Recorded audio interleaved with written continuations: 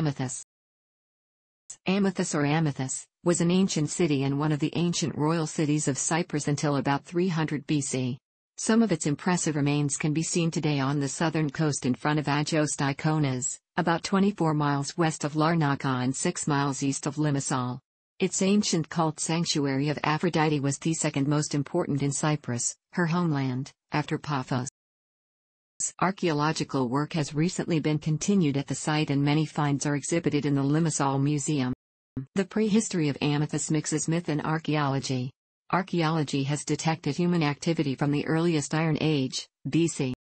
The city's legendary founder was Cinyras, linked with the birth of Adonis, who called the city after his mother Amathous. According to a version of the Ariadne legend noted by Plutarch, Theseus abandoned Ariadne at Amathousa, where she died giving birth to her child and was buried in a sacred tomb.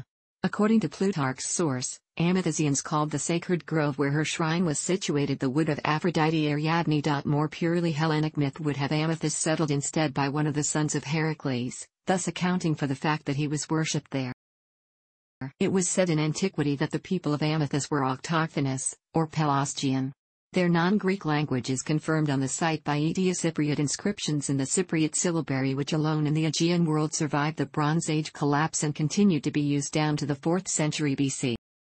Amathus was built on the coastal cliffs with a natural harbor and flourished at an early date, soon requiring several cemeteries. Greeks from Euboea left their pottery at Amathus from the 10th century BC. During the post-Phoenician era of the 8th century BC, a palace was erected on a port was also constructed, which served the trade with the Greeks and the Levantines. A special burial ground for infants, a tophet served the culture of Phoenicians.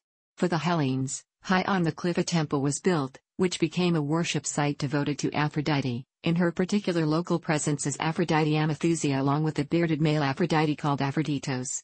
The excavators discovered the final stage of the Temple of Aphrodite, also known as Aphrodisias, which dates approximately to the 1st century BC. According to the legend, it was where festive Adonia took place, in which athletes competed in hunting wild boars during sport competitions, they also competed in dancing and singing, all to the honor of Adonis. The earliest remains hitherto found on the site are tombs of the early Iron Age period of Graeco-Phoenician influences, 1000 to 600 BC. Amathus is identified with Kardi Hadas T, Phoenician Newtown, in the Cypriot tribute list of Esarhaddon of Assyria, 668 BC. It certainly maintained strong Phoenician sympathies, for it was its refusal to join the Philhellene League of Onesilus of Salamis which provoked the revolt of Cyprus from Achaemenid Persia in 500 to 494 BC, when Amathus was besieged unsuccessfully and avenged itself by the capture and execution of Onesilus. Herodotus reports. Amathus was a rich and densely populated kingdom with a flourishing agriculture, grain and sheep, and copper mines situated very close to the northeast Kalavasos.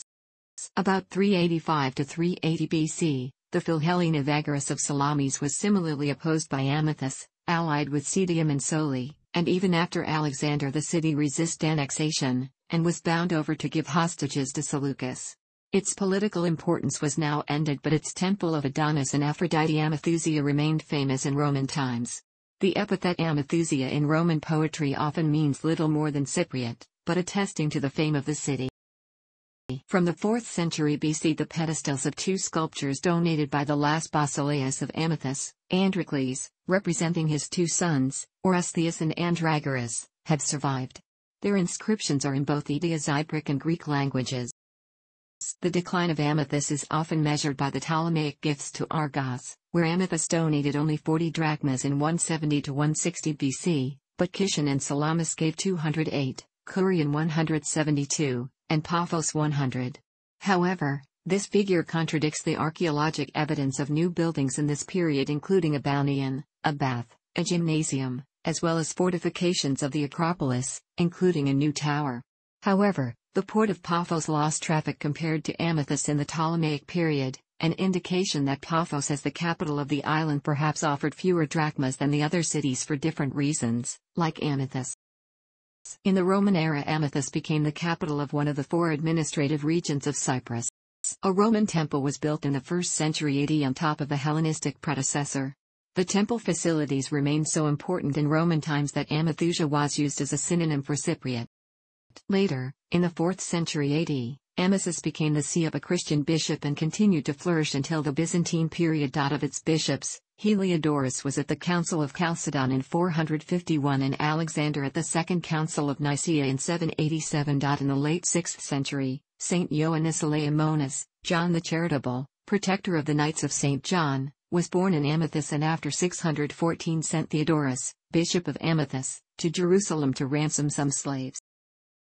Today, Amathus is a see of the Church of Cyprus and is also listed, under the name Amathus in Cypro, to distinguish it from Amathus in Transjordan, a titular see by the Catholic Church, which however, in line with the practice adopted after the Second Vatican Council, has made no appointments to the bishopric since the death of the last Latin titular bishop in 1984. Anastasius Sinaita, the famous 7th century prolific monk of St. Catherine's Monastery, was born here. It is thought that he left Cyprus after the 649 Arab conquest of the island, setting out for the Holy Land, and eventually becoming a monk on Sinai.